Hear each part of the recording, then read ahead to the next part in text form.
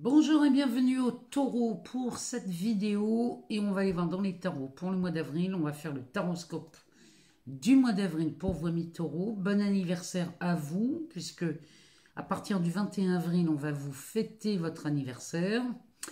Donc bon anniversaire à vous. On aura l'occasion de se revoir courant le mois d'avril puisque j'ai l'intention de revenir. Puisque j'avais vraiment envie de vous faire une série de vidéos sur le transit de Pluton comme on avait fait avec le transit de Vénus jusqu'au 11 avril. Donc profitez-en, allez voir ce transit, cette vidéo que j'avais faite, euh, qui est encore valable jusqu'au 11 avril, avec ce transit de Vénus, qui a lieu quand même chez vous. C'est pas rien et c'est pas anodin. Donc on a ce Pluton qui est arrivé en verso fin mars. Donc on va aller voir euh, ce que les cartes nous disent pour ce mois d'avril pour vous, amis taureau, ascendant taureau, signe lunaire ou encore Vénus en taureau. On va regarder dans ce tarot. On recouvrira si c'est nécessaire. On ira voir chez Mademoiselle Lenormand sur un aspect euh, sentimental et amoureux. On regardera dans la métiste lève ce qui se passe. Et puis on ira chercher une carte oracle dans la sagesse de l'oracle. On ira voir ce que ça nous dit. Alors, on va aller faire un tour dans ce le tarot de la roue de l'année. On va faire une coupe, on va regarder ce qu'elle nous dit. Alors, on a le fou et on a la grande prêtresse ou la papesse, je ne sais. Non, la grande prêtresse. Alors, on a le fou et la grande prêtresse. Donc, ici, chez vous les taureaux, il y a un événement au mois d'avril très inattendu. Euh, ça, ça me parle d'une opportunité euh, qui se pointe vers vous. Et l'opportunité ici, avec ce Pluton en verso, va être de peut-être de corriger certaines choses dans votre expérience, des choses qui peut-être ne fonctionnent pas tout à fait comme vous voulez, ou alors des situations qui se répètent dans votre expérience et que vous avez envie d'y mettre un terme, c'est possible en tout cas, voilà de quoi ça nous parle. Vous avez l'opportunité de revoir quelque chose dans votre expérience. Allez, on y va. On va aller voir ce que ça nous dit pour vous pour le mois d'avril 2023 pour les taureaux, ascendant taureau, signe lunaire ou encore Vénus en taureau. On a un 4 de bâton. Alors, le 4 de bâton va nous parler de fondation solide. On bâtit quelque chose, on est sur euh, peut-être la signature de quelque chose. Derrière, on a l'impératrice, le diable, le 4 de pentacle. Le diable est la carte centrale. Hein. Oh, regardez-moi ça, on a le jugement. Ah ben, les taureaux, il y a un beau mois là qui s'annonce. Hein. Vous avez quand même trois lames majeures dans votre tirage. Euh, c'est pas rien. Hein. C'est pas rien. Alors, ici, vous êtes sûr, on accouche d'un projet chez vous les taureaux. Vous bâtissez quelque chose. Alors, on bâtit quelque chose, mais avec ce cap de pentacle, on est sur des ambitions. On a l'impression que euh, peut-être vous pensez que vous n'avez pas les moyens, c'est possible, ou alors vous réfléchissez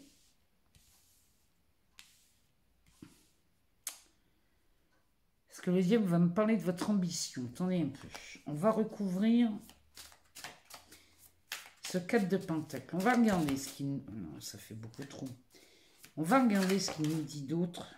Ce 4 de pentacle. On a un 3 de bâton, un 2 de bâton et un page de pentacle. Bon. Le 4 de pentacle va nous parler, lui, euh, peut-être ici on est bien accroché à ses deniers. Peut-être que là vous faites, vous êtes prudent, peut-être qu'il nous parle de prudence. Euh, peut-être que vous hésitez à acheter un bien au mois d'avril. Vous attendez, vous ne savez pas si vous en avez la possibilité ou si vous allez pouvoir assurer cet achat. Et eh bien là, on nous parle d'un 3 de bâton qui parle quand même de projection. Vous avez Euh, vous regardez votre situation sur du long terme ici, les taureaux. Avec un 2 de bâton, le long terme, vous le faites accompagner de quelqu'un. Il semblerait qu'on s'associe avec quelqu'un. Alors c'est peut-être un projet professionnel ou un projet personnel. Quoi qu'il en soit, ici, vous n'êtes pas seul à investir, soit dans un bien, soit dans un travail, soit dans un projet professionnel. En tout cas, vous vous faites entourer. Ici. Et le page de Pentacle, lui, par contre, il me dit que vous allez vraiment étudier toutes les possibilités. Donc, il y a de belles choses qui se présentent sur la construction où vous bâtissez quelque chose. Alors, encore une fois, ce cadre de bâton peut nous parler soit d'un achat immobilier, soit d'un projet professionnel. Mais alors avec l'impératrice, vous mettez au monde. Ce projet voit le jour au mois d'avril. Peut-être que ça commence par la signature d'un compromis. Ça peut être un achat ou une vente. Mais vous signez quelque chose. Hein. Le diable, lui, nous parle de vos ambitions. Alors, lui, il est... Euh, parle de vos ambitions. Peut-être que vous avez peur de rêver grand, là, les taureaux. Et vous hésitez. Et si vous hésitez ici sur un projet quelconque, euh, faites-vous soit accompagner, soit, ou alors vous pouvez investir à deux. Ici, le 2 de bâton nous dit que vous pouvez investir à deux, parce que regardez, sur cette carte, ils sèment un haricot et ils mettent des tuteurs et ils le font à deux voyez La récolte ici va être partagée. Il y a quelque chose comme ça. Ce ne sont pas des dépenses. Moi, je vois pas des dépenses. Moi, avec ce page de pentacle, j'y vois plutôt un investissement. C'est pas une dépense que vous faites.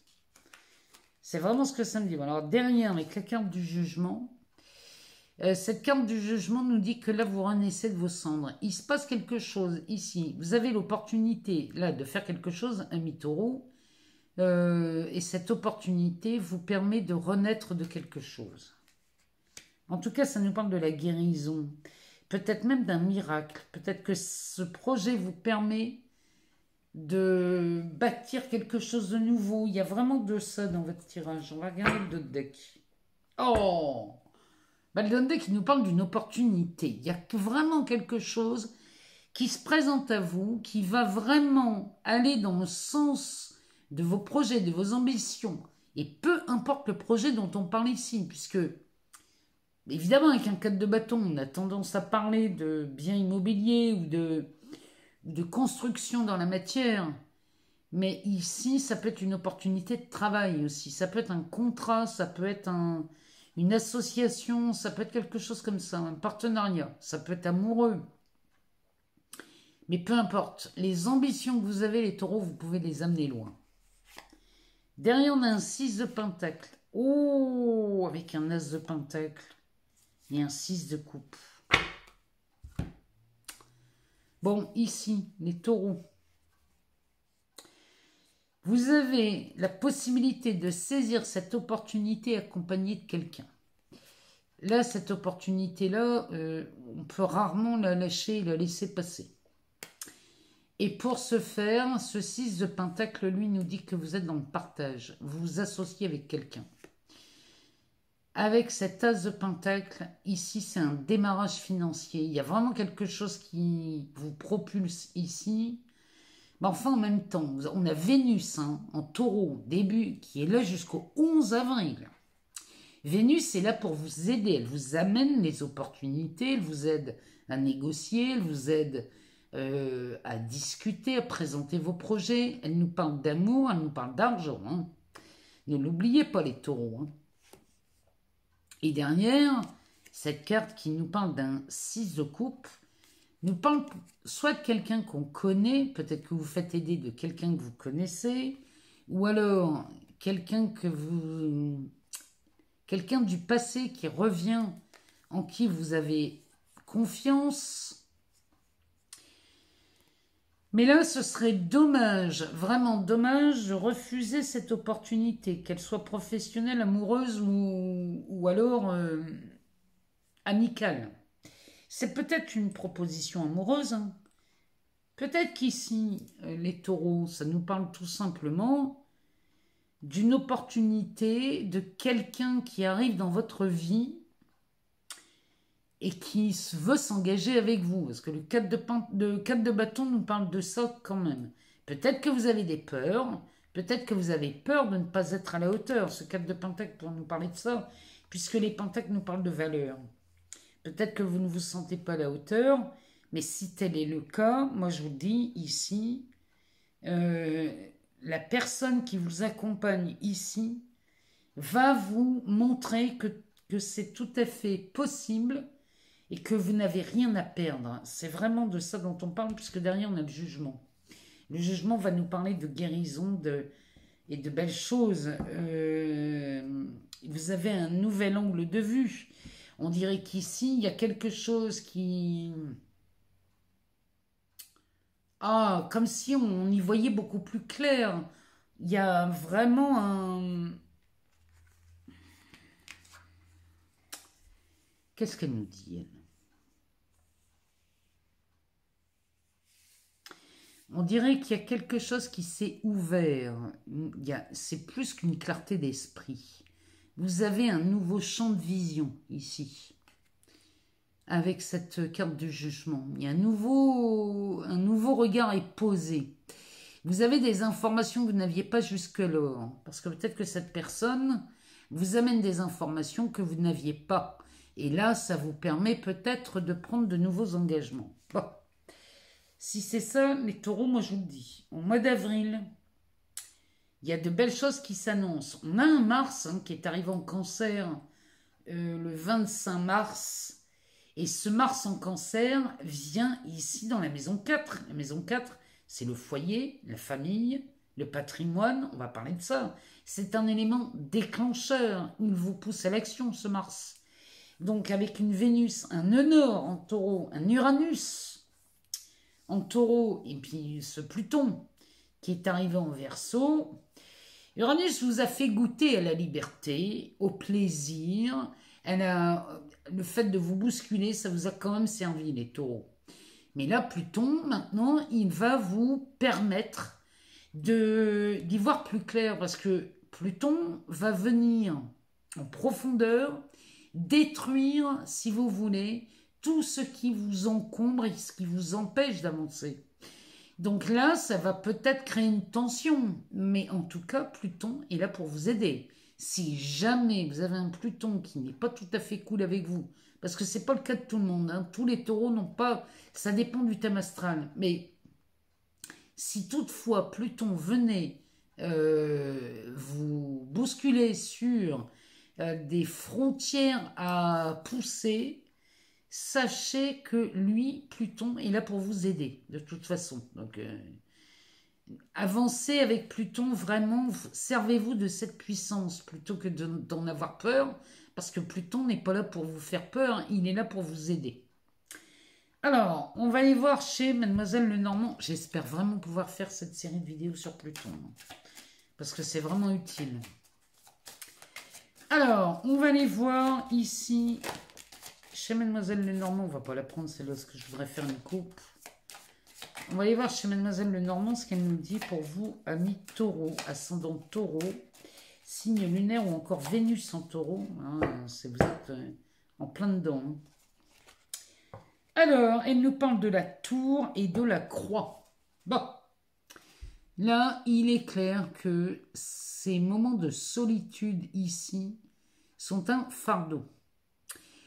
Ça peut nous parler de solitude et du fardeau que la solitude vous amène. Euh, parce que ici, même en couple, hein, vous pouvez vous sentir seul. Ou alors, il y a quelque chose ici sur un événement, ça peut être un tribunal ici, qui pour vous est un fardeau. Et là, vous en avez peut-être marre de cette situation qui vous pèse. Euh, c'est possible. On va les voir. Alors, sur un aspect relationnel, amoureux, affectif, elle nous parle du fouet, du vaisseau.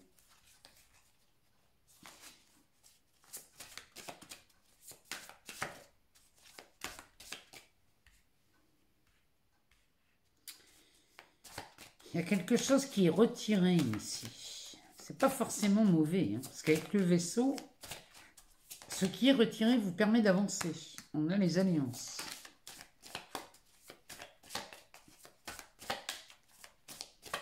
Donc là, ici, on s'adresse à des taureaux qui seraient en couple. On nous parle de la, croisée des chemins. Et ici, je ne sais jamais laquelle c'est celle-là. Il nous parle de la lune.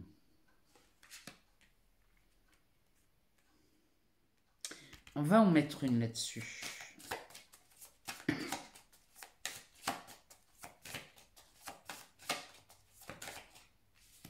Oh, nous parle de l'être aimé. C'est encore un 4. Ça nous parle de la maison, ça nous parle de, du foyer. Il y a vraiment quelque chose là avec l'arbre en dos de deck. Alors l'arbre nous parle de vitalité, de force.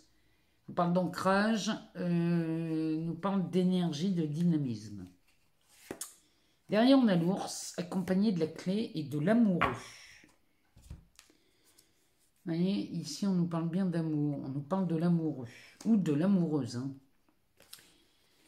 Alors, là, on nous parle d'ancrage, de vitalité, de force. Ici, avec cet arbre. L'ours, qui va nous parler de stabilité, de... Il nous parle aussi d'argent, lui, hein, cet ours. Il nous parle vraiment d'un ancrage aussi sur un aspect matériel et financier. Pardon. Derrière, on a cette clé. Donc la clé va nous parler de solution avec l'amour. Donc là, il y a vraiment quelque chose qui se libère chez vous, amis de taureau, si vous êtes en couple. Il y a vraiment quelque chose qui vient vous redynamiser. Peut-être qu'ici, euh, chez les taureaux, peut-être que vous êtes en couple et qu'on est sur un divorce et ce divorce, la clé serait ce partage du patrimoine, hein, parce que là, vous voyez, on pourrait nous parler des taureaux à qui on a retiré quelque chose. Peut-être qu'ici, vous avez perdu une maison à cause d'un divorce. C'est possible. Hein. Ou alors, la séparation, vous êtes en pleine séparation ou en plein divorce. Et là, euh, peut-être que là, on est dans le partage euh, des biens ce mois d'avril euh, vous permet de... Comment on appelle ça?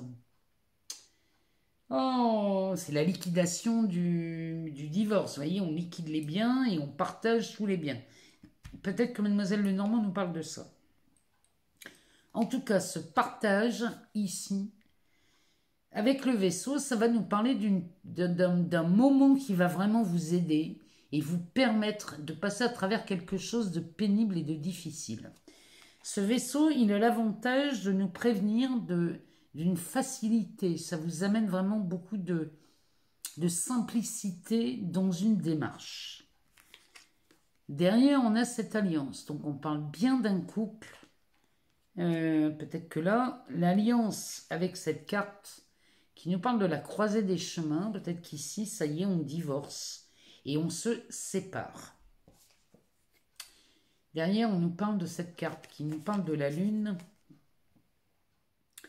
Et ça, ici, on nous dit que là, vous êtes sur le point soit de retomber amoureux ou amoureuse, je vous le souhaite, hein, ami taureau, ou alors ici, on vous demande vraiment d'écouter votre intuition. Soyez à l'écoute de votre intuition, parce que là, là on a de quoi faire hein, chez vous les taureaux. Mais quoi qu'il en soit, si vous êtes en plein divorce, le mois d'avril va vous permettre de passer à travers quelque chose. Vous sortez de ce mois d'avril avec beaucoup plus de confiance que, que l'entrée du mois d'avril. Peut-être vous avez peur hein, avec un divorce, une procédure qui traîne en longueur, mais si c'est le cas ici, vraiment ce vaisseau vous, prévient que les choses vont se simplifier, se faciliter. On va aller voir dans la métiste love pour nos taureaux célibataires. On va faire une coupe, on va regarder ce qu'elle nous dit. Elle nous parle d'amour éphémère et d'amour envoûtant. Bon, n'est pas, ils sont, c'est pas incompatible. Hein. On peut avoir des amours éphémères mais très envoûtants. Bon, les célibataires, ici, on voit que Vénus est chez vous. Hein. Alors, on va les voir. Ça nous parle de sortie, d'invitation. Profitez de cette Vénus. Hein. On nous parle de relations instables, de, karmique. Oh, on est parvenu que le passé.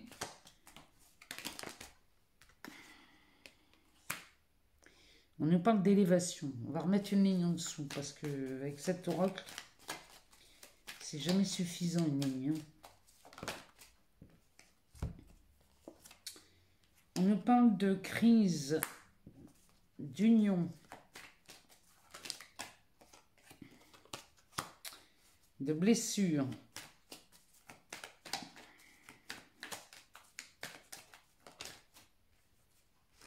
Ah Et on nous parle de déménagement et de chance. Ça, c'est plutôt pas mal. Le dos de deck nous parle de transformation, de métamorphose. Ça bouge hein. chez les taureaux célibataires, on voit que Vénus est chez vous. Alors, transformation, métamorphose.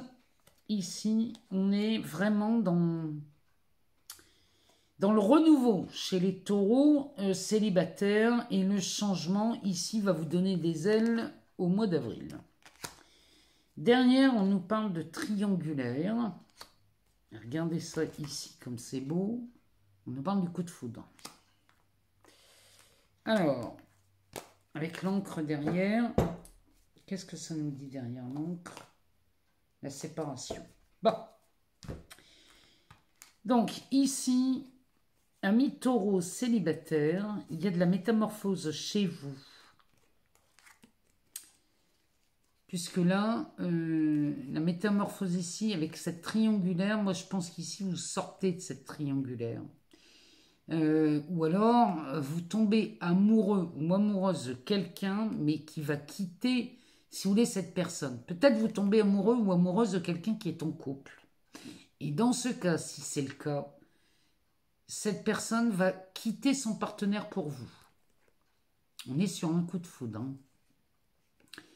Mais cette carte nous parle de transformation, de métamorphose. Vous allez tomber amoureux ou amoureuse de quelqu'un qui, même si cette personne est en couple, eh bien, euh, la personne quittera son partenaire pour vous rejoindre et être avec vous. Parce que quand je vois ça, ça peut être aussi un ex-partenaire, une ex-partenaire qui est en train de se séparer et qui, avec qui vous retombez euh, amoureux. C'est possible, hein, les taureaux, parce que quand je vois le tirage, parce qu'ici, il y a des invitations à sortir.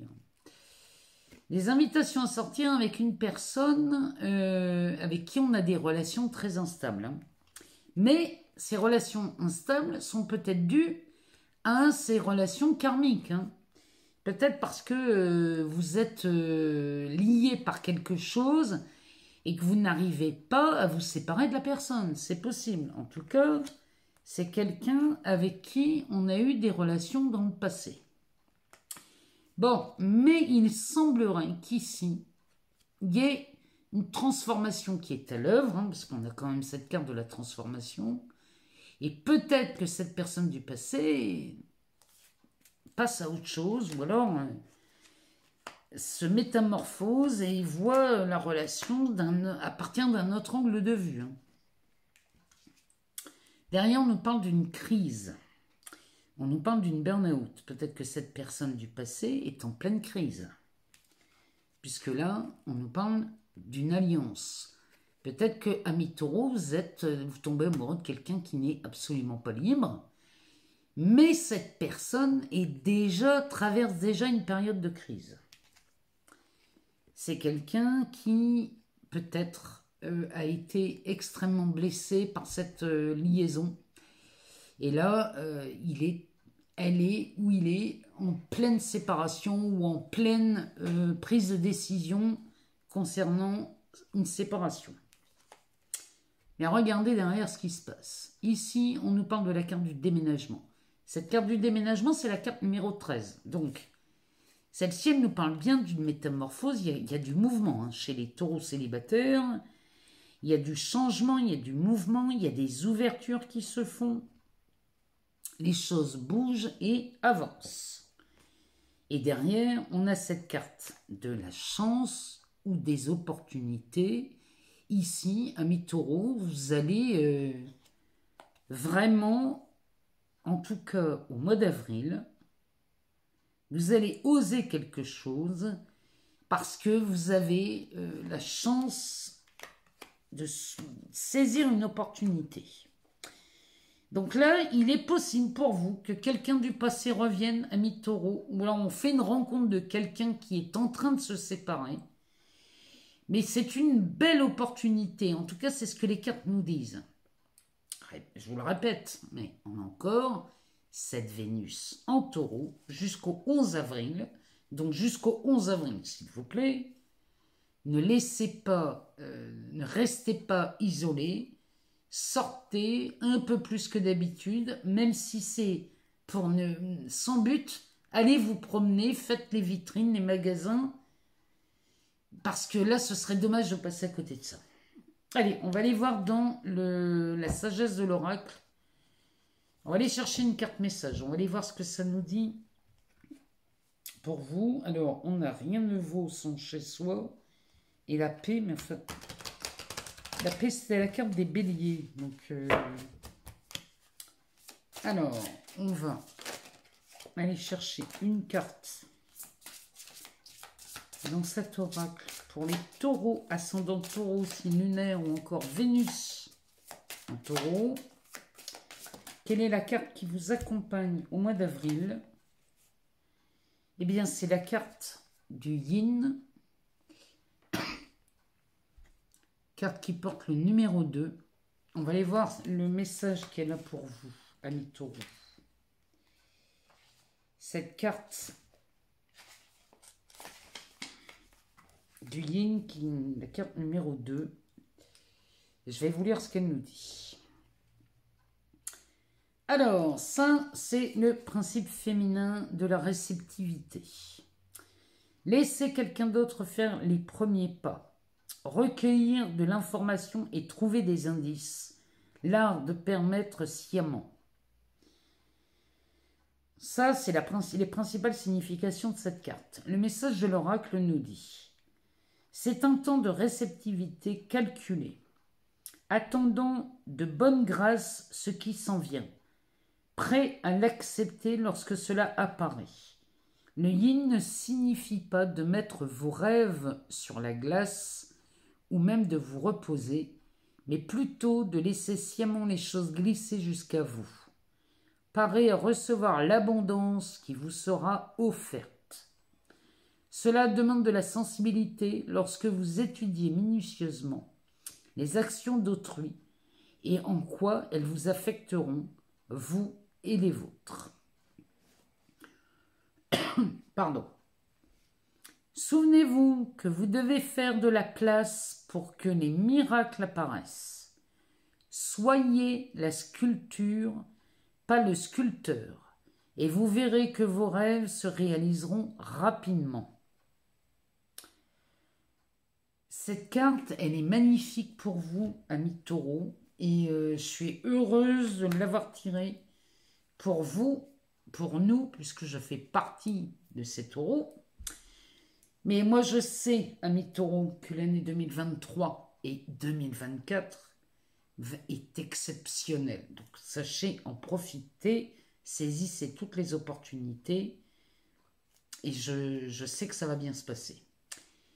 Je vous remercie pour tous vos abonnements, vos partages, vos likes. Moi, tout ça, vous savez, ça fait vivre cette chaîne. Ça me permet de continuer de vous partager euh, du contenu.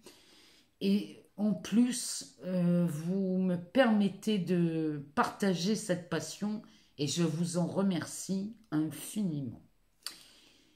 Si jamais vous n'avez pas toutes les réponses dans cette vidéo, allez voir votre ascendant, votre signe lunaire ou encore votre Vénus pour avoir d'autres informations. On se retrouve très vite courant le mois d'avril. Je vous embrasse et je vous dis à très bientôt les taureaux.